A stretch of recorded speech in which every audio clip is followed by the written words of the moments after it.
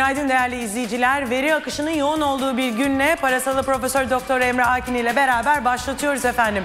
Yeni vergi paketi e, efendim plan ve bütçe komisyonunda değerlendiriliyor. Çok kazanandan çok az kazanandan az vergi alımı ile ilgili çalışmalar devam ediyor.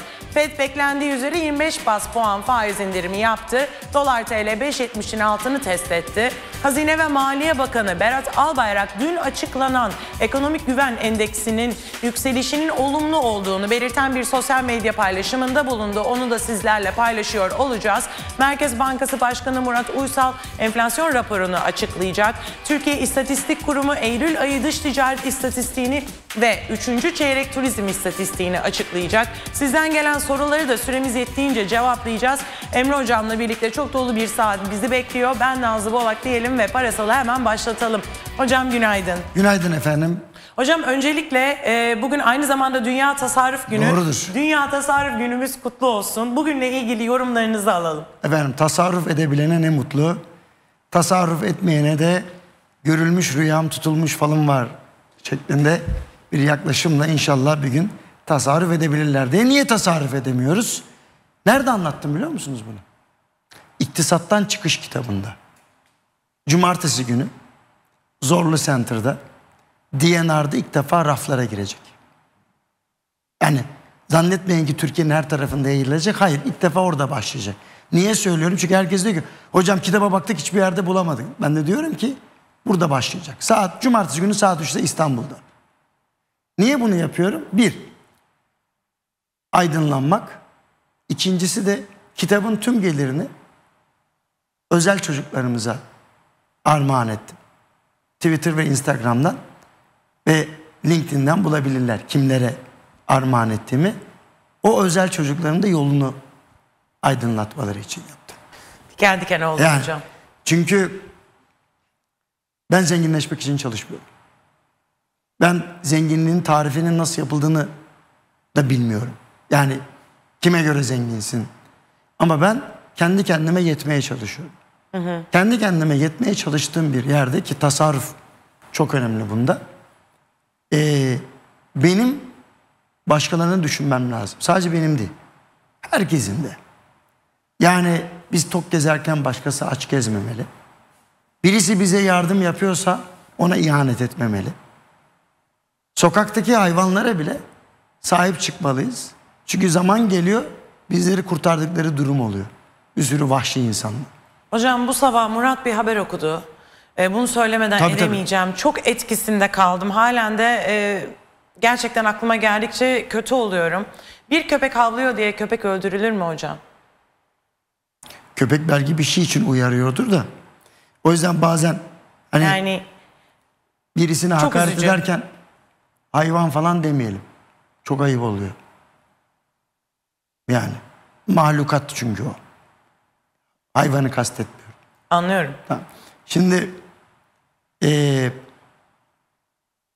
insanlar için yazdığım, niye bu hallere düştüğümüzü anlattığım, niye tasarruf edemediğimizi, niye böyle aşırı harcadığımızı, niye şu an ekonominin kırılgan hale geldiğini, niye siyasetin bu hale geldiğini, niye birbirimizi bu hale soktuğumuzu, neden böyle davrandığımızı bu kitapta anlattım.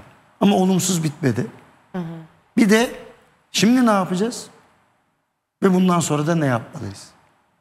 Kendisini ve etrafını kurtaramayan ülkeyi de kurtaramaz. O yüzden ülkeyi kurtarmak adına sosyal medyadan vakit öldüren arkadaşları da şöyle diyorum. Varın benim gibi yapın. Çocuklarımıza destek olun. Geleceğimize destek olun. Özellikle destek ihtiyacı olan insanlara destek olun. O yüzden hani kitap olmuş vesaire olmuş, eser yazmış.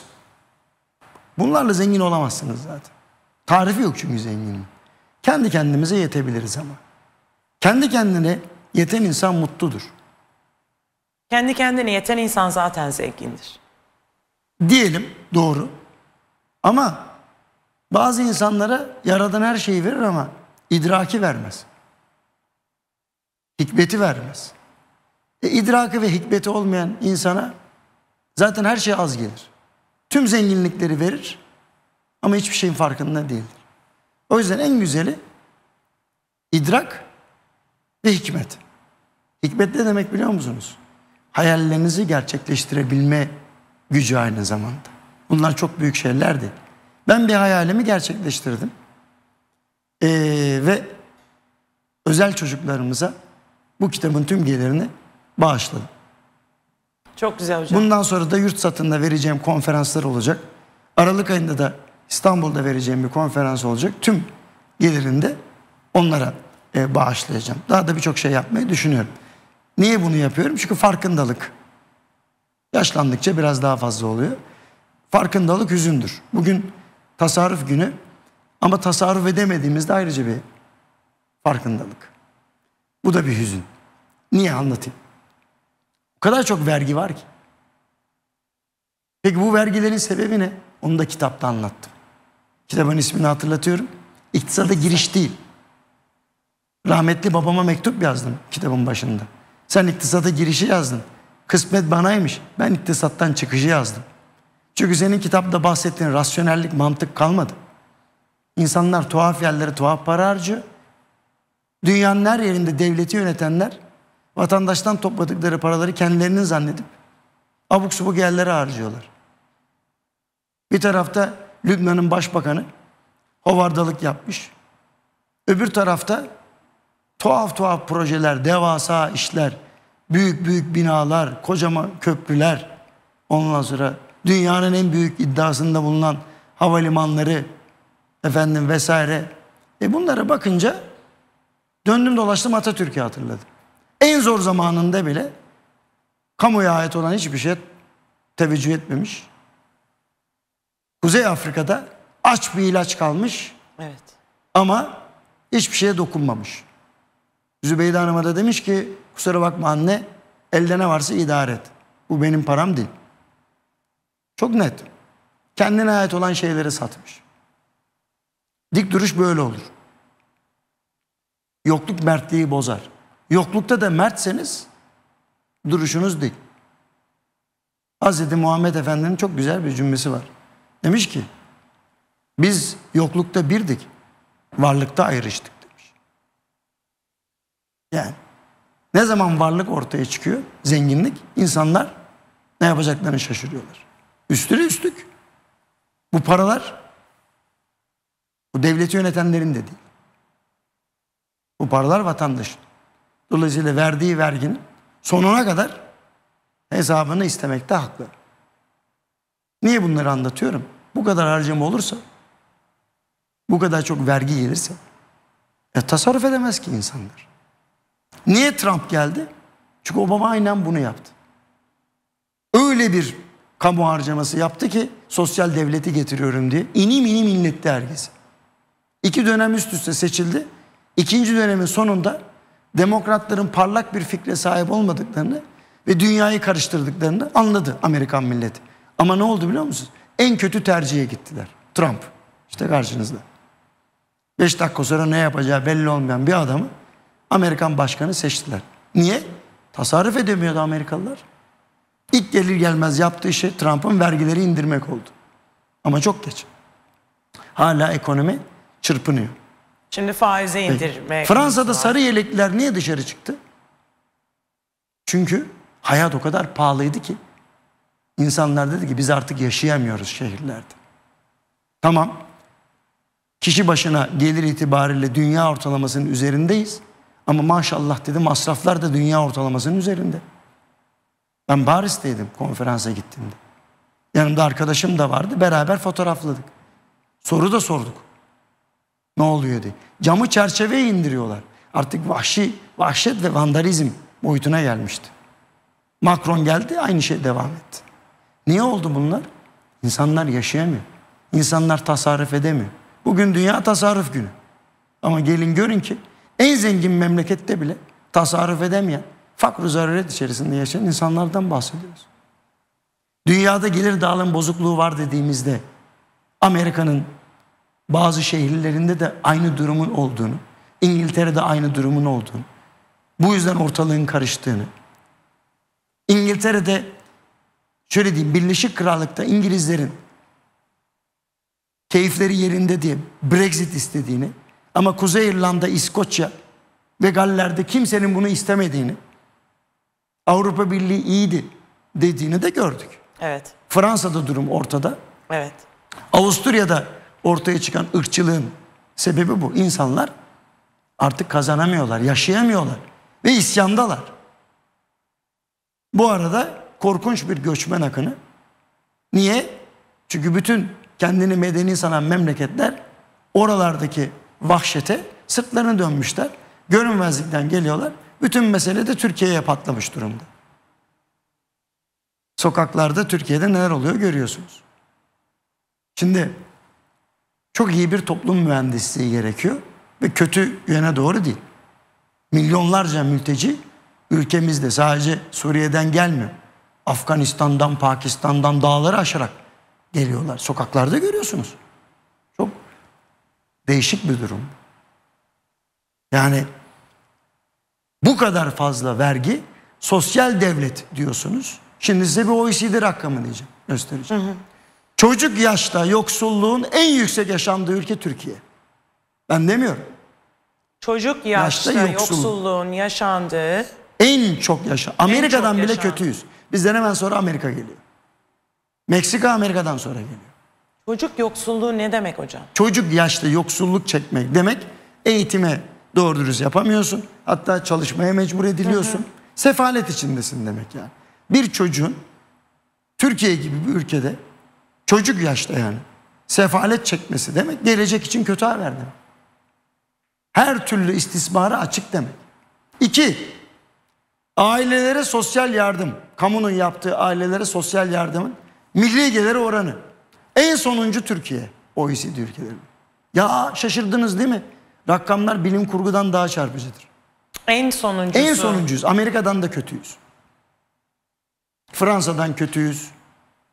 İngiltere'den kötüyüz. Meksika'dan kötüyüz. Sayayım Hepsinden kötüyüz en kötü, en sonuncusuysa. Şimdi dolayısıyla ah, ama vatandaşımız hayır hasenat işler. İşte benim yaptığım gibi. Kitap çıkarıyorum. Gördüm. Allah'ım dedim ben eksik yaşamışım. Benim yardım etmem lazım dedim.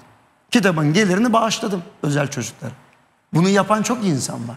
Türkiye hayır hasenat işlemek isteyen insanların çokluğuyla ayakta duruyor zaten.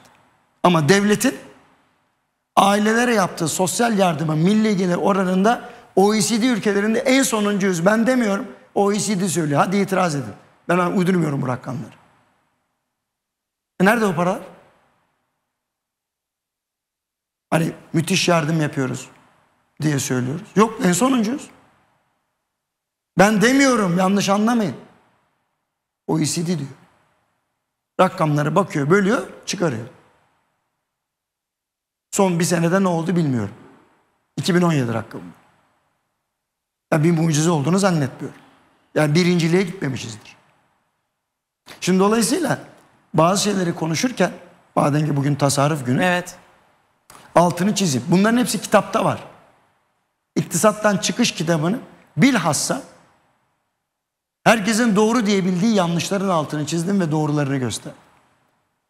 Her dinin öğretisinde inancın değil. Birinci kural kendini bil. Kendini bilirsen düzeltebilirsin. Ama kendinin iyi olmadığını düşünmüyorsan hiç düzeltmezsin. Ben iyiyim dersin. İyi değiliz. Diyorum çocuk yaşta yoksulluğun OECD ülkelerin, ülkeleri arasında en yüksek yaşandığı yer Türkiye. Devletin ailelere sosyal yardımın milli gelir oranında en sonuncu Türkiye. Ben demiyorum. Baştan söyleyeyim. OECD rakamları yalan söylemiyorlar herhalde. Çünkü devletin verdiği rakamlara bakarak yapıyor. Herkes aklını başına toplasın. Tamam mı? Bizim dünyanın en büyük havalimanına değil, dünyanın en refah içinde olan insanlarına ihtiyacımız var. Dünyanın en iyi eğitimine ihtiyacımız var. Dünyanın en eşitlikçi ortamına ihtiyacımız var. Dünyanın en özgür bireylerine ihtiyacımız var. Dünyanın en iyi demokrasisine ihtiyacımız var. Ondan sonra her şey olur. Dikey havalana uçak da yaparız, havalimanına gerek kalmaz. Bu kadar net. Savunma sanayimiz maşallah gayet evet. iyi gidiyor. Tebrik ediyorum savunma sanayini. Mecburiyetlerden neler yaratıyor. Demek olabilir. O zaman bizim pahalı işler yapmamıza gerek yok. Tarihimizi hatırlayacağız. Çanakkale'ye köprü için temel atıp bak Çanakkale geçiliyormuş diye espri falan yapmayacağız. Çanakkale geçilmez arkadaş. Sen unutmuşsun onu. Esprisi bile olmaz onun.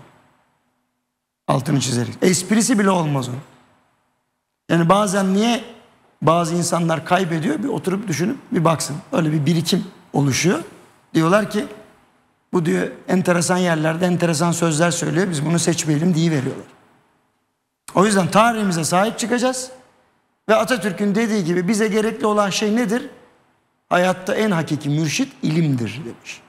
Yani sadece bilimi, sanatı ve insanların eğitim kalitesini yükselterek yola devam edecek. Sonra her şey olur. Dünyanın en iyileri bizim olur. En büyükleri değil. En büyük, en uzun, en geniş psikolojik bir rahatsızlık. En iyisi, en iyi çalışanı, en az vakit kaybettireni, en az para kaybettireni. Ondan sonra tasarruf başlar. Madem dünya tasarruf günü, ondan sonra tasarruf başlar. Ben bunu söylediğim zaman alınanlar oluyor. Alınmayın yahu iyiliğiniz için söylüyorum. İyiliğinizi düşünmeyen bunları söylemez zaten. Çok iyisiniz bravo der alkışlar yürür gider. Ben iyiliklerini düşünüyorum. Saygı duyuyorum. O kadar sorumluluk almışlar. Ateşi, ateş çemberin içinde bir Kuzey Irak'la uğraşıyor. Ekonomiyle uğraşıyorlar. Kanun çıkar. Terörle mücadele. Kolay değil bu. Ben de diyorum ki birilerinin size doğruyu söylemesi lazım. Belli ki oralarda söylenmiyor. Ben de söylüyorum burada. Çünkü seviyorum. Ülkemin her bireyini seviyorum ben. Ben şirketlerde de böyleyim. Bilirler beni. Çok da hoşlanmazlar bazen. Çünkü dost doğru söyler. Mesela hatamı bulmaya uğraşırlar. Kendi hatalarını düzeltmeye çalışacaklarını. Çok eğlenirim. İş yapan hata yapar. İş yapmayan hiç hata yapmaz. Dolayısıyla hata yapanlara hatalarını göstermek sevaptır. Sevaptır diyorum ben. Dolayısıyla niye Türkiye tasarruf edemiyor? Bakın ta nerelere gittim, nerelere geldim. Evet. Tarihini bil, insanlarını eğitimle, özgürlükle, eşitlikle, adaletle yücelt. Baksana neler yapıyorlar. Şaşırırsınız. Amerika kimmiş, Çin kimmiş dersiniz. Öyle gençler var bizde. Öyle muhteşem gençler var ki anlatamam. Öyle gençleri yererek konuşanlara da katılmıyorum. Bugün gençleri yererek konuşanlar bugün ne haldeler?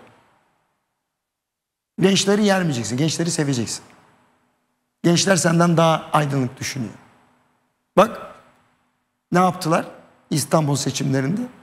Geleceği parlak gösteren insana verdiler. Çünkü geleceği karanlık gösterenden hoşlanmıyorlar. Aydınlık gelecek istiyorlar. Aydınlık gelecek için bilim, sanat, özgürlük, eşitlik, adalet. Biz bunlara yapısal reformluyoruz zaten. Bunlar olunca müthiş tasarruf olacak. Ve Dünya Tasarruf Günü'nü bundan 10 sene sonra kutladığımızda bugün bu adımları atmış olanlara hayır duayla anacağız. Kesinlikle. Ve diyeceğiz ki aferin gençler size istediğinizi verdik ama siz muhteşem işler çıkardınız.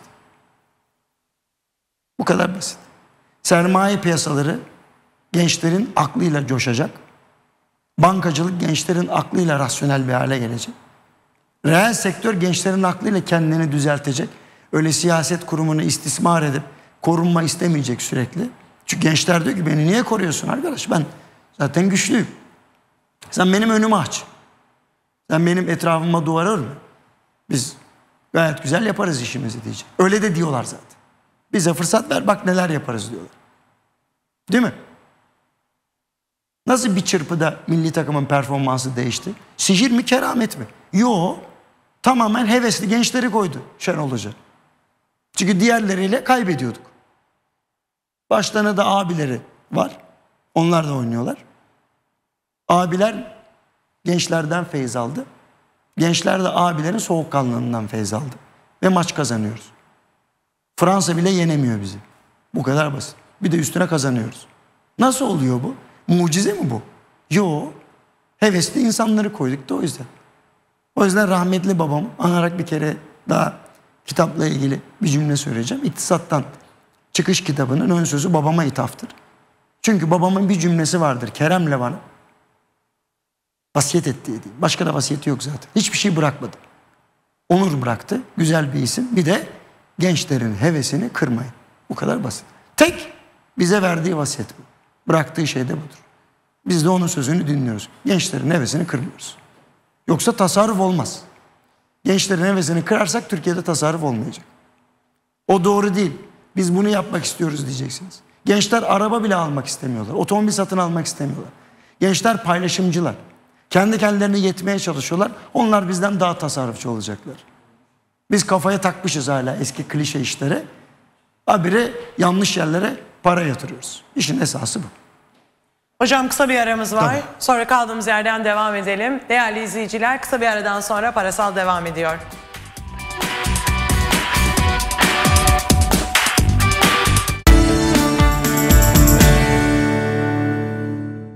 Damat Twin'in yeni uçan ceketiyle hafifliği ve rahatlığı yaşamaya, uçmaya hazır mısın? Uçan ceketle hafifliği yaşa, hayata ağırlığını koy. Uçan ceket, Damat Twin'den. Damat Twin. Ev sahibi olmanın en kolay yolu FPK sistemiyle ev sahibi olan Sunu Hanımlara hayırlı olsuna geldi. Nasıl? Kolay aldınız mı evinizi? Tamamen kendi bütçemize göre taksitlerimizi ayarladık ve en önemlisi faizsiz, peşinatsız ve kredisiz kendi evimizi aldık Zahide Hanım. Hadi siz de Fuzulev'in FPK sistemine dahil olun. Kolayca ev sahibi olun. Sonra bana siz de dua edersiniz. Hemen 444 63 13'ü arayın ya da fuzulev.com'a girin. Yeni uçan ceketle hafifliği yaşa, hayata ağırlığını koy. Damat Twin.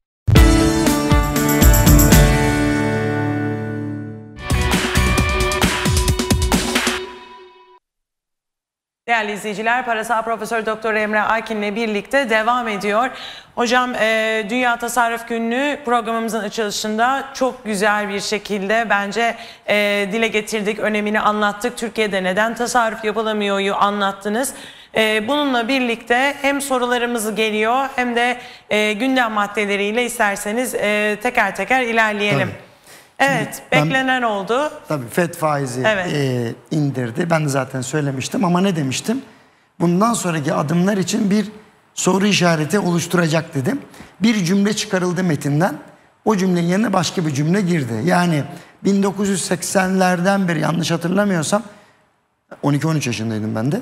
Ondan sonra e, babamı takip ettiğim için e, biliyorum. Üç kere üst üste faiz indirimi pek olmadı. Yani faizin yükseltildiği oldu ama indirildiği pek olmadı. Buradan hareketle Fed'in bundan sonraki aylarda çok dikkat edeceğini tahmin ediyorum. İki sebepten dolayı. Bir, Fed Başkanı Powell çok önemli bir cümle söyledi. Kaldıraç oranları dedi şirketleri o kadar yüksek ki kritik zirvede diyor. Türkçe'ye çeviriyorum vatandaşlar için. O kadar çok diyor kredi almışlar ki diyor parayı ucuz ve bol bulup ya neredeyse kar etme motivasyonlarını kaybetmişler diyor. Bakın bu çok önemli. Para bol ve ucuz geldi mi? Firmalar kendilerini yenilemek yerine ya bedava para var. Böyle biraz devam edelim verirler. Çin'e karşı Amerika'nın teknolojik üstünlüğünü kaybetmesinin en önemli sebebi bu. Kar motivasyonu kaldı mı daha iyisini yaparım diyemiyorsun. Niye? Para bedava. Zaten para geliyor. Niye Bu şirketlerin tabii bu şirketlerin çoğu da patronsuz şirket. Şimdi para bedava geliyor. Yönetim kurulu başkanı CEO ve hissedarlar kendilerine göre fiktif kar gösteriyorlar. Likiditeyi çekiyorlar içeride. Herkes memnun. Kağıt üstü kar onlar. Hani likit kar değil. Nakit kar başka. Kasadaki parayla karıştırmayalım onu. Şimdi kasadaki parayı çekiyorlar. Bilanço karını gösterin. Biz bunu yaşadık. Enron'da yaşadık. Daha başka şirketler sayarım. Arthur Anderson vardı. Rahmetli. Bunları denetlerdi süper derdi bunlar falan. Böyle oldu. Şimdi o yüzden benim korkum şu. Paralar bollaştığı zaman ve ucuzlaştığı zaman insanların ahlakı bozulur. Bol para ahlakı bozar. Bol ve ucuz para ahlakı bozar. Yönetmenim beni takip ediyor biliyorum. Bol ve ucuz para ahlakı bozar. O yüzden faiz konusundaki takıntılı arkadaşlara Şunu diyorum ki bir kısım reel faiz iyidir. Çünkü vatandaş diyecek ya bankaya para yatırıyoruz. Reel olarak bir şey kazanmıyoruz. Niye yatırayım o zaman der.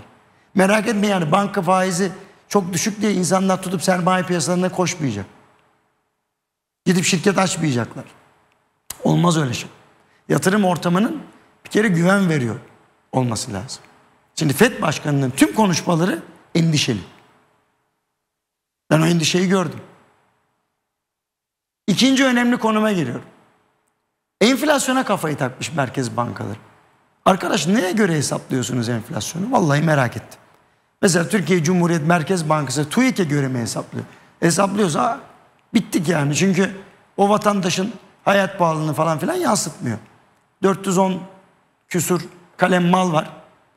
Toplama tarzına da baktım. Eleştiriyorum. Tamam mı? Enflasyonun düşüşü demek fiyatlar düştü demek değil. Onu da biliyorum. Fiyatların artış hızı düştü demek. Tamam. Ama yani üretici fiyatlarında gösterdiğiniz yüzde iki buçuğa kim inanır Allah aşkınıza ya? Bir yıldan bir yıla yüzde iki buçuk mu arttı üretici fiyatları? Dolayısıyla izaha muhtaç dediğim zaman kızmayın. Şimdi buna bakarak e, faizleri düşürmeye kalktığımız zaman bunun bir tolerans sınırı var. Tolerans sınırı 13. Söyleyeyim de burada. Aşağı düşürmeye çalışmasınlar diye. %13'ten aşağısı sıkıntılı. İnanmaz kimse. Bir kızın bir tolerans var. Yani 4 puan ya da 5 puan reel faiz istiyor bu ülkenin riskli durumu. Kırılgan hala. Amerika'ya döneyim. Ya Amerika'da neye göre fiyatları tartıyorsun? 1718 tane şirket dükkan kapatmış. Niye biliyor musunuz? İnternetten satış daha kolay diye. Evet. İnternetten satın aldığınız zaman normal dükkandan aldığınızın yüzde yirmisi yüzde otuza daha ucuz alıyorsunuz. Enflasyon yükselmiyor diyorsunuz. İnsanlar mal satın almaktansa kiralamayı tercih etmişler. Arabaları paylaşıyorlar gençler. Tamam mı? Eskisi gibi kilo kilo domates almıyor. Tek alıyor eve. Tek başına yaşıyor. Evi de satın almıyor. Kiralıyor. Gezgin yaşıyorlar. Birçok Amerikalı uçakta neredeyse yaşıyor. Evine dönemiyor. E siz neye göre enflasyonu hesaplıyorsunuz ya? Enflasyon yükselmiyor diye faiz düşürüyorsun. Kim inanır buna? Bu inanılacak bir şey değil. Ben Amerika'da da enflasyonun doğru hesaplanmadığına inanıyorum. Tabii ki fiyat çıkmaz yukarı. Çünkü tüketicinin fiyat baskısıyla üreticinin sırtındaki rekabet baskısı ortada buluşmuş. Fiyat bir türlü yükselemiyor. Talep olsa bile yükselemiyor. Kırılgan çünkü talep. Satıcı da korkuyor. Otomobil alacak iskonto var. Buzdolabı alacak iskonto var. En kötü bu acayip dükkanlar var. İsim vermeyeyim. Türkiye'de hiç yok ama hani reklama girer diye korkuyorum. Oralara gidiyor oradan ucuz alıyor. Yani Amerikalıların ucuz mal alabilmesi için her şart ortada. Evet. Siz neye göre bakıyorsunuz bu enflasyonu? Çünkü adam iskonto yapıp ucuzlattığı fiyattan kaybettiği geliri başka bir acayip finansman metoduyla kompanse ediyor. Kapatıyor üstünü. Hele sıfıra yaklaşmış faizlerle. Sen hala diyorsun ki enflasyon yükselmedi. Ya arkadaş sen de hata yapıyorsun kusura bakma. Yani koca koca adam bunlar. Emeklilik yaşına gelmiş. Enflasyonu ekonomik parametreleri 20. yüzyıla göre takip ediyorlar. Ne dijital gelişmeden haberleri var ne başka bir şeyler. Okuyorlar mı acaba? Ne kadar dijitallik içindeler? Mesela sosyal medya kullanıyor mu? Hiç acaba banka işlemini şu aplikasyonlardan falan yapıyor mu acaba? Vallahi merak ediyorum adamları. Hocam ben de yapmayan kaldı mı diye merak Ben, ediyorum. ben süper meraktayım ben de. Yani şöyle. Acaba Starbucks'ta veya herhangi bir markada söylüyorum Amerika'da sıraya girmeden evvel önden mesela hiç sipariş vermiş mi? Önden sipariş verdiği için bunun ucuz olduğunu anlamışım mesela. Bilmem ne beyaz eşya şirketine hiç gitmeden şuradan sipariş verip dükkandakinden yüzde yirmi ucuza hiç almış mı buzdolabı Sayın Powell? Mesela merak ediyorum. Ya da herkes fil dişi kulelerinde işten eve, evden işe mi yaşıyor? Bu çok önemli soru. Evet. Sonra diyor ki bana enflasyon işte hala işte çırpınıyor. Enflasyon yükselmediği için biz de faiz oranlarını düşürüyoruz. Kimse buna inanmaz. Yani. Çünkü satıcılar iskonto yaptıkları üründen kaybettikleri geliri bir başka finansal ya da teknolojik operasyonla kapatıyorlar. Çok tuhaf bir şey. Reklam alıyor ya sitesine. İlginç bir şekilde. Çok kısa bir böleceğim hocam size. Tamam. Çünkü e, üçüncü çeyrek turizm istatistiği Aha. geldi. Saat 10. İyi gelmiştir. E, turizm geliri geçen yılın aynı çeyreğine göre yüzde 22 arttı. İyi gelmiştir. İyi, iyi geçti bu sene. 14 milyar 31 milyon 122 bin dolar oldu. Evet. E, turizm gelirinin cep telefonu dolaşım ve marina hizmet harcamaları hariç %82,1'i yabancı ziyaretçilerden, %17,9'u ise yurt dışında ikamet eden vatandaş ziyaretçilerden elde edilmiş. Çok iyi. Ziyaretçilerin kişi başı ortalama harcaması 649 dolar oldu. Çok düşük. Çok düşük diyorsunuz. Söylemek zorundayım yani bunu. Ziyaretçi sayısı geçen yılın aynı çeyreğine göre %15 arttı. Güzel. Turizm gideri geçen yılın aynı çeyreğine göre %1,8 arttı. Bunun sebebi ne? Ha gideri pardon ben geliri diye algıladım özür dilerim. Turizm gideri geçen yılın aynı çeyreğine göre %1,8 arttı. Yurt dışını ziyaret eden vatandaşlar 2018 yılı 3. çeyreğine göre %30,2 arttı. Güzel. Bunlar iyi haberler. Çünkü hatırlarsanız Sayın Berat Albayrak YEP sunumunu yaptığında cari açık sıfır hedefinden bahsetti. Ben de dedim ki üç koşulda olabilir. Bir, Türkiye ithalatının yüzde 85'inden fazlası ham madde aramalı yatırım malı olduğuna göre ham maddeyi çıkaracak halimiz yok Türkiye'de yoksa aramalı ve yatırım malını Türkiye'de üretmeliyiz. Ve bunu 2022'ye kadar da başaracağız. Zor. Fabrikanın temelini attın. Üretime başlaman zaten 2022'yi zor bulur. Fabrika açanlar bilir. İki, ihracatın katma değerini yükseltmek. İhracatın bugün değeri kilogram başına 1.4 dolar. Evet. Bunu 4 dolara çıkarmak mümkün mü? 2022'ye kadar mümkün değil. 2027'ye kadar. 2022. Ha 22 özür 25'te belki yaparız bir şey. Üçüncü koşul döviz kazandırıcı faaliyetleri cesaretlendirmek, önünü açmak, sayısını arttırmak. Bak bu olur. İşte bu da bu. Yani turizm, eğitim turizmi yani Türkiye'ye gelen yabancı öğrencinin sayısını arttırmak. Hastanelerimiz, efendim diğer döviz kazandırıcı faaliyetler var. Müteahhitlik hizmetleri. Hepsini sayarım. İşte limanlar. Bunların sayısını arttıracağız ki cari işlemler açığımız kapansın.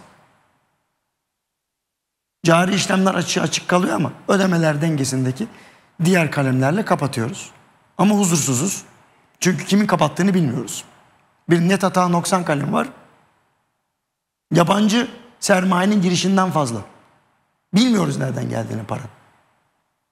E bu da bizi tedirgin ediyor. O zaman cari açın sıfır olması lazım ki biz bu döviz indi mi çıktı mı falan o işe girişmeyeceğiz. Yani onları düşünmeyeceğiz. Cari açıktan da bahsetmişken hocam dış ticaret Eylül ayı istatistiğiyle Ya. geldi. İhracat yüzde 0,3, ithalat yüzde 1 arttı. E biliyoruz bunu. Yani buna yapacak bir şey yok. Şöyle diyeyim size. Ee, ihracatın hızı kesiliyor ama miktar olarak değil. Miktar olarak artış var. Değer olarak düşüş var. Bu ne demek? İhracatçılarımız aynı ciroyu elde etmek için daha fazla mal satıyorlar demek. Daha basit anlattım. Niçin oluyor bu? Rekabet korkunç. Çünkü Türkiye'nin ihraç ettiği malların da yüzde 85'i nihai mal kategorisinde. Evet. Fiyata karşı hassas.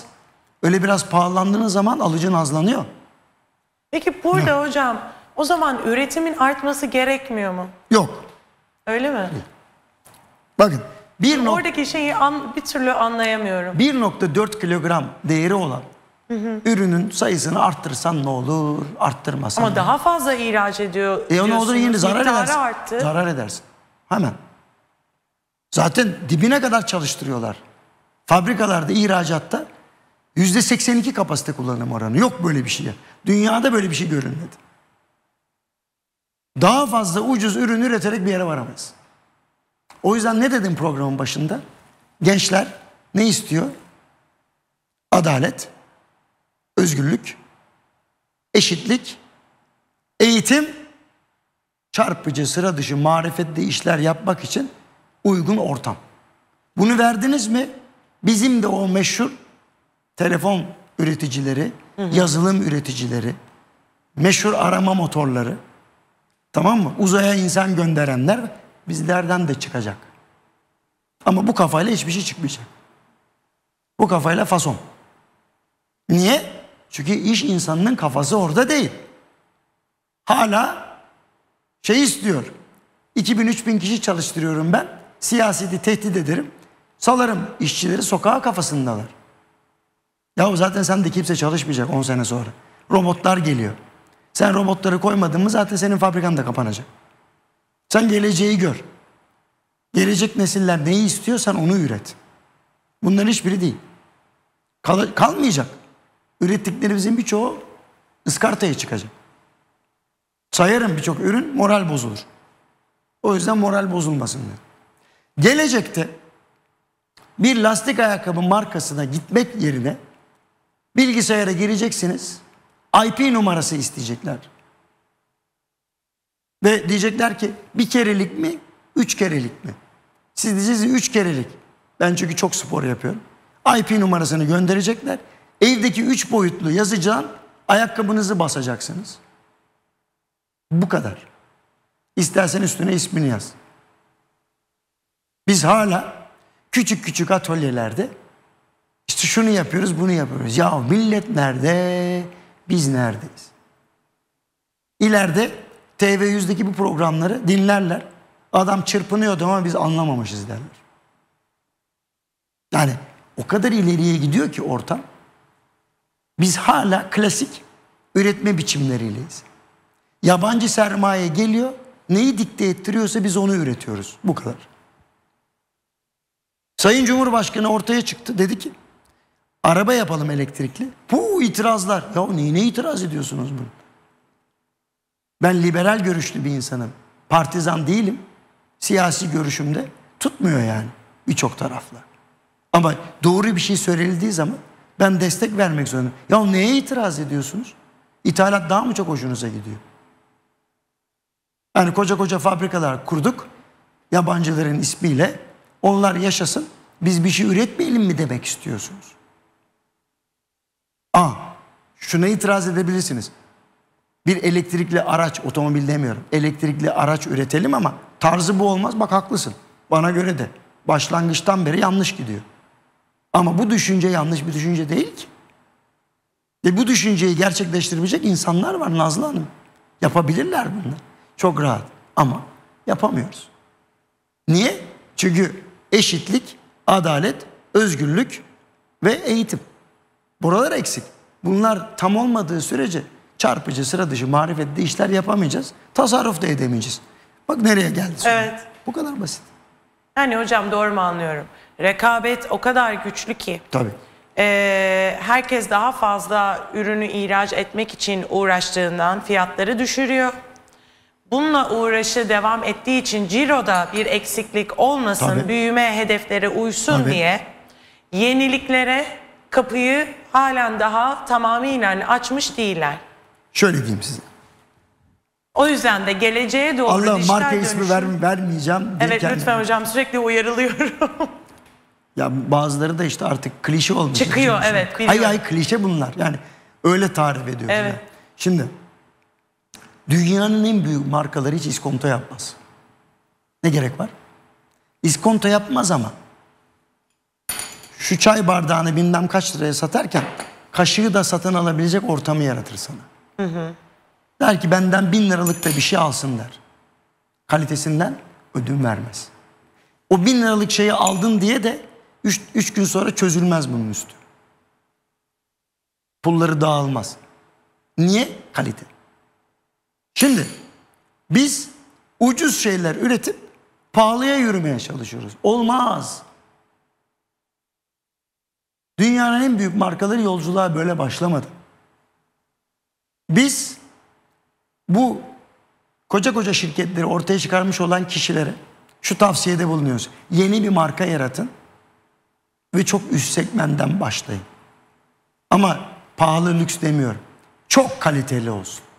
Alan desin ki ne biçim şey yapmışlar. Ve onu dedim şirketten ayırın. Çünkü diğer şirkettekiler onu öldürmek isteyecekler. Bütün dedim pilot projeleri, parlak fikirleri şirketin dışındaki teknoloji merkezlerinde üretin. Şirketin içinde bir şey üretemezsiniz. Öldürürler onu. Kendi evladına, kendi kardeşine dayanamıyor. Başkasının ürettiğine dayanabilir mi?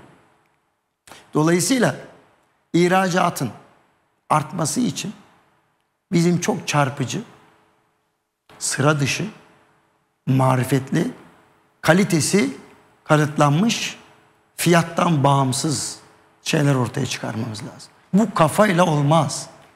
Çünkü zenginleşmeye kafayı takmışız.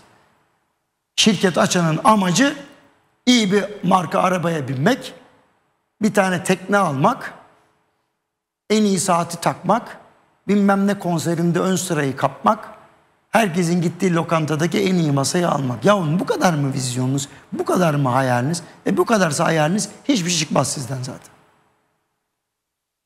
Çok güzel özetlediniz. Ya adamın en büyük hayali bu. Zenginleşmek. Komik komikliğe bak. Yani zenginleşmek gibi hayali olan bir insandan bir şey çıkmaz. Kendi kendine yeten bir organizasyon kurabilen insanlar müthiş işler başarıyor. Bizim iş adamlarına bakın. Kollarına taktıklarına, kıyafetlerine, ayakkabılarına bir de dünyanın en büyük şirketlerinin sahip ve CEO'larına bakın. Sokakta görseniz Bir tanımazsınız. jean pantolon, bir tişört. Tabii canım. Geçmiş adam oraları. Bizimkiler geçememiş de ondan. Tamam şık giyinme işi bir resepsiyona davet edilirsiniz mecbursunuz. Hocam sorular akıyor. Tabii, buyurun. Süremiz azaldığı için araya tabii. giriyorum kusura bakmayın. Ee, üreticinin elinde satışa hazır ürün varken o üründen ithal etmek ne kadar doğru? Üreticinin zararına oluyor. Sizin A- bir görüşünüz. aynı kalitedeyse sonsuz haklı. Aynı kalitede değilse katılmıyorum. Orada da yine kalite. Çok net. Beni yolda bırakan ürünü ben almam arkadaş. Hatırlayın üstünüze yürüyen çamaşır makinelerini, gece gündüz öten buzdolaplarını, Evet. 10 bin kilometre sonra konsolu gıcırdayan otomobilleri hatırlayın. Tamam? Ona göre konuşalım. O gümrük birliğine itiraz örnek. eden, gümrük birliğine itiraz eden koca koca holdingler bugün gümrük birliği sayesinde kaliteye ulaştılar. Tamam. Ya öyleymiş o. Hayat böyle. Hocam Merkez Bankası Başkanı Murat Uysal'ın enflasyon raporu ile ilgili görüşleriniz de merak ediliyor. Buna bağlantılı olarak sizin biraz önce de tekrarladığınız hem Amerika örneğini de verdiniz. Hatta e, tırnak içinde yazılmış Amerika'nın da doğru enflasyon hesapladığına inanmıyorum cümlenizde var. E, sizin görüşünüz nedir? Öncelikle oradan başlayalım sonra da diğer soruları teker teker okurum. Şimdi her yeni fikir eski fikrin çürümesi anlamına geldiği için eski fikrin sahipleri ayağa kalkarlar. Ben bunu çocuklukta da yaşadım. Ben elden ayrıksı bir tiptim zaten. Ama her zaman hayallerimin peşinde gittim. Ama hayallerin içerisinde gerçeklerin hep farkında oldum. Bugün itibariyle ekonomide sebep sonuç ilişkileri birbirine karışmıştır. Hiçbir olayın sebebi tek bir temele bağlı değildir. Evet. Bundan dolayı enflasyonu hesaplamak demode ve aynı zamanda insanları yanlışa götüren bir metot olmuş. Çok net. O yüzden ne Amerika'da ne Türkiye'de enflasyonu doğru hesaplamak mümkün değil. Hayat pahalılığını çok daha rahat hesaplayabiliyorsunuz. Maaşınız geldi, ücretiniz. Nereye kaç para harcadınız? Endeksleyin bir senede işte hayat pahalılığı o. Bak net. Bu Zenginliği... anlattığınız hocam rejideki reji editörüm Sedat'ın en hassas konusu. Haklı. Haklı. Peki zenginliği tarif edebilir misiniz? Edemezsiniz. Kim kime göre zengin? Kendi kendine yetmeyi tarif edebilirsiniz. Evet. Kendi kendine yetmeyi de hayat pahalılığı endeksinden takip edebilirsiniz. Ne kadar para kazanıyorum? Ve bu yetiyor mu? Yetmiyorsa ne yapıyorum? İşte kredinin devreye girdiği yer. Sadece bireyler değil, kurumlar da aynı şey yapıyor. Ne kadar para kazanıyorum? Masrafım ne? Bana yetiyor mu? Yetmediği yerde kredi kullanıyor. Powell da diyor ki şirketler kendini zor idare ederken parayı bedava buldular diye aşırı borçlandılar diyor. Biz de aynı şeyi yaptık. 250 milyar dolar dış borcumuz vardı özel sektör. 211'e indi. Neyse ki. Niye çıktı bu kadar? Parayı bedava zannettik de ondan. Bedava olmadığını anladık. Tasarruf olmazsa özel sektörün büyümesi için gerçek kaynağı oluşturamayız. Tasarrufu kim alıyor? Kamu. Niye alıyor? Çok harcıyor. Kamunun bu kadar çok harcadığı yerde insanların geliri o beğenmediğimiz enflasyon kadar artıyor mu? Artmıyor. Heh, insanlar da buna itiraz ediyor işte. Enflasyon demek fiyat artışlarının hızı demek. Enflasyon düşüyor demek fiyatlar geriledi değil, fiyatların artış hızı düştü demek. Ama insanların geliri o beğenmediğimiz enflasyon oranı kadar bile artmadığı için herkes isyanda. Konunun özeti bu. Şimdi bu bugün dördüncü çeyrek açıklanıyor. O yüzden Sizin Murat Bey geçen- böyle açıklamayacaktı. Evet. Ama sizin geçen yayında söylediğiniz bir şeyi hatırlatmak istiyorum. Gıda fiyatları ile ilgili yükselebilir dediniz. Daha da Yükselebilir. yükseliş görür Büyük ihtimalle yükselebilir diyor. Evet. Şu an büyük ihtimalle diyorsunuz. Şimdi bu dördüncü çeyrek raporu olacağı için üçüncü çeyrek geride kaldı. Aralığa kadar demek ki dördüncü çeyreğin içinde olacağız. Burada da belki bizim sürekli tartıştığımız bazı sorulara cevap acaba Murat Uysal'dan, Başkan Uysal'dan gelir mi? Gelir. Murat Bey pragmatik ve bilgili bir insan. E, fakat onun da el ayağı bağlı. Daha ne yapsın? Yani baktı ki özel sektörde hareket yok. Baktı ki maliye politikası hiç değişmiyor. Sürekli vergi almak istiyor. O zaman para politikasını çalıştırıyor. Biz diyoruz ki ya para politikası bu tarafa gidiyor. Maliye politikası bu tarafa gidiyor. Olmaz. Yani bir arabaya atla eşeği yan yana koştuğunuz zaman araba hangi hızla gider? Eşeğin hızıyla gider. Bu kadar basit. Yani ağır giden bir taraf var. Bir taraf hızlı gitmeye çalışıyor ama aynı arabaya koşulmuşlar. E gitmiyor, büyümüyor ekonomi istendiği kadar. Niye? E para politikası coşturayım diyor. Maliye politikası diyor otur bakalım diyor. Biraz para alacağım sizden diyor. Aldıkça da alıyor. Sürekli de zam geliyor. Elektriğe, doğalgaza, ona buna şuna. Bütçe yansımasını nasıl göreceğiz? E göreceğiz. Yani ka- kamu bütçesine diyorsanız Evet. kamu bütçesi rahat. O diyor işte bir trilyon lira harcayacak kadar genişleyecekler onlar. Hep öyle oluyor her sene. Bütçe hedeflerinin üstüne çıkılıyor. Ama deniyor ki işte bütçe açığı oranını tutturduk diyor. Ama hem harcamayı arttırıyorsunuz hem gelirleri arttırıyorsunuz. E geliri nereden arttırıyorsunuz? E vergiyle arttırıyorsunuz. O da yetmiyor. Borçlanmaya gidiyorsunuz. Asıl en tehlikeli yer orası. Yani sürekli vergileri ve borçlanma limitini arttırdığınız sürece ne oluyor? E harcamaya devam ediyor kamu. Harcamaması lazım. Daralması lazım. Biz nasıl hayatımızı ufaltıyoruz? Şirketler nasıl ufaltıyor? Sen de ufalt. E ufalamıyor ama. Çünkü çok masraflı bir kamu var. Binalarıyla, arabalarıyla, seyahatleriyle anlatamam yani. Özel kurumlarıyla, üniversiteleriyle. İşte o yüzden yapacak bir şey yok. Yani neyse. Yani çok da böyle moral bozmayayım ama benim cumartesi günü saat 15'te İstanbul'da raflarda olacak olan kitabım İktisattan Çıkış bunları detaylı bir şekilde anlatıyor. Herkesi beklerim. Söz isteyen herkese söz vereceğim. Şaka değil. Ben de orada olacağım hocam. Size de mikrofon uzatacağım. Eyvah. Ekonomist arkadaşlarım var. Hayır. Biz buraya beraber geldik. Kimseyi suçlamamalıyız. Siyaset bunun kabahatisi. Yok canım. Yani kendi oy vermedin mi? Arkadaş bayıla bayıla oy veriyordun.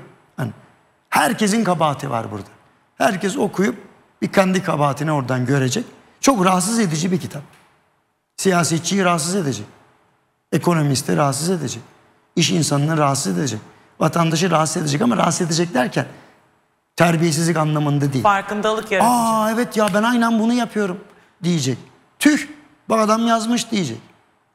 Hem aydınlanacak hem de özel çocuklarımızın yolunu aydınlatacak. O kitabı satın aldığı andan itibaren tüm gelir nereye gidecek? Özel çocuklarımıza gidecek. Bu kadar basit. Hocam diğer başlığa geçiyorum. Ee, Hazine ve Maliye Bakanı Sayın Berat Albayrak dün açıklanan e, ekonomi güven endeksi ile ilgili bir sosyal medyada bir paylaşımda bulundu. E, bu yapmış olduğu paylaşımda da daha pozitif bir yaklaşım sergileniyor. E, güven endekslerinin tümünde sağlanan iyileşme ile birlikte piyasalardaki toparlanma güçlü bir şekilde sürüyor. Bu alanda yakaladığımız ivme, değişim ve arzu ettiğimiz sürdürülebilir büyümenin itici güçlerinden biri olacak. Hiçbir kelimesine itiraz edemem ben bunun. Sürülebilir büyüme bir hedef. Nasıl bir hedef biliyor musunuz? Hani ahlaklı insan olmalıyız gibi bir şey bu. Ne kadar ahlaklıyız bilmiyorum ama oraya gitmek lazım. Mesela mutlak hakikat. Çok zor bunun bulunması. Ama hedefimizdir. Araştırırız, buluruz değil mi? Sürdürülebilir büyüme aslında ideal bir hedeftir. Romantik değildir, idealdir. Sayın Bakan diyor ki bu ideal hedefe doğru bakıyoruz biz diyor. Başka bir yere bakmıyoruz diyor. Bu iyi bir şey. Yani Türkiye için gerekli, dünya için gerekli, insan için, insan için gerekli ne varsa oraya doğru bakıyoruz diyor. Dolayısıyla geçen Ağustos'tan bu yana ortaya konan bir iyileşme var. Doğrudur. Ama bu tüm iyileşmeler dediğim gibi çok zor yakalanan. Ta dünyada şu ana kadar kimsenin yakalayamadığı. Ama herkesin arzu ettiği sürdürülebilir büyümeyi yakalamak amacıyla iyi bir işaret vermiş durumda. Bir de sizin çok sevdiğinizi biliyorum. Onu da ekrana yansıtabilirsek Hazine ve Maliye Bakanı her seferinde bu tür açıklamalar yaptığında bir grafik çalışıyor. Doğru. Sizin de grafikleri sürekli e, beğendiğiniz dile getirdiğiniz için ben de ekrana bir hazırlık yaptım. Yani şimdi bunlar iyi işler. Neden? Sürekli kötü söylenmez. Bakar insan yani. İstanbul seçimleri bunu gösterdi. Ankara bunu gösterdi. Niye? Kötü olacak diye insanları motive edemezsiniz ki.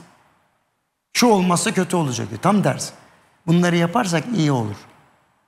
Korku motive aracı değildir Değil. zaten. Kötü bir. Yani birazcık baskı çiçek açtırır ama korkutmak motivasyon motive etmez. Şimdi Sayın Bakan'ın paylaştığı bu grafik iyileşmekte olan işleri gösteriyor. Bu iyi bir şey. Çünkü sürekli olarak herkes oturuyor. Bazı insanlar var negatif enerjili. Her şey çok kötü, her şey çok kötü olacak. Ya arkadaş tamam anladık biz de farkındayız. Bu kadar da söylenmez ki yani.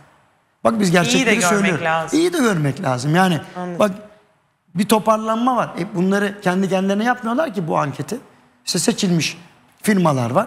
Her yıl gönderiliyor onlar. Onlar da cevap veriyorlar. Demek ki geleceğe bir güvenli bakış var. Eskisine göre. Şimdi bu endekslerin bir, bir tanesinde 100 puan geçilmiş. Bu iyi bir şey. 100 puan zaten önemli. Bazıları 100 puanın altında okey geri gelecek. Bekliyoruz mesela inşaat sektörü güven endeksi daha çok aşağılarda. Daha çıkacak ondan sonra. Efendim ekonomik güven endeksi daha yüzün altında çıkacak. Bekleyeceğiz ama ya iyi şeyler de oluyor. Kötü şeyler oluyor değil.